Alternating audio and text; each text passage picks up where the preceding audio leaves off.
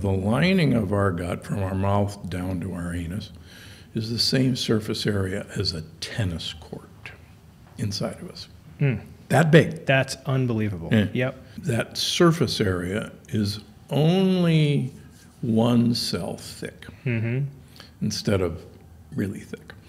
And those cells, so everything we swallow, all the bacteria in us, all the foods in us, are only one cell away from us. Mm-hmm.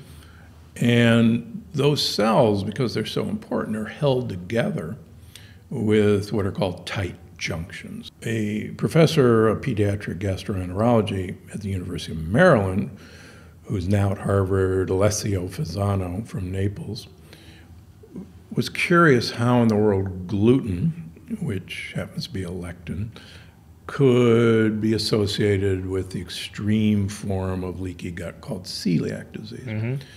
And he worked out the mechanism where if these plant particles can get to the wall of the gut, they'll attach and they will make a compound, and there won't be a test, I promise, um, called zonulin. Zonulin attaches to another receptor and it breaks the tight junction.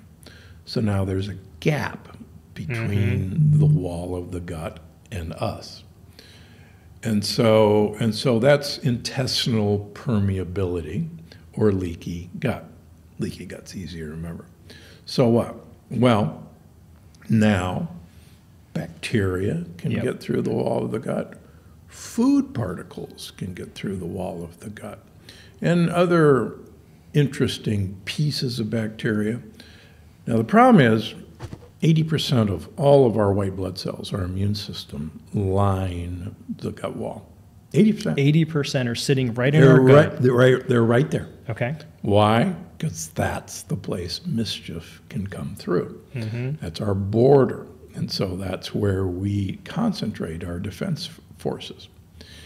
And what I and others have shown is that once that activation occurs, a chain of events occurs through what's called molecular mimicry that we begin to attack other proteins in our body mm-hmm. that resemble the things that are coming across.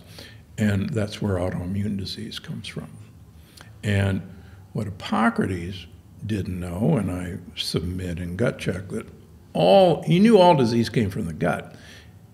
What he didn't know is that all disease comes from leaky gut. Mm-hmm. Now, the good news is all disease can be reversed when you seal your leaky gut. And that's what I've been teaching patients for over 20 years how to do it. And so almost think about the ends of the spectrum, right? There is a perfectly healthy gut that is a 100% sealed. Yep. Is it that when you have 10% and maybe 10% uh, deterioration, that is not leaky gut? Maybe that's the beginning of it. Is it not until you get to 50%? Like, where is the the spectrum here? How how damaged should I think my gut is once you've actually waved the the white flag and said, "Hey, this is pretty darn bad."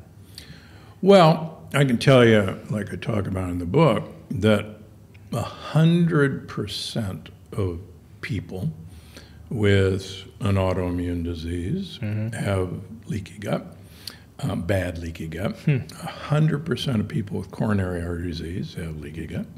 100% of people with, with uh, dementia or brain fog or any processing problem in their brain have leaky gut. 100% of people with diabetes have leaky gut.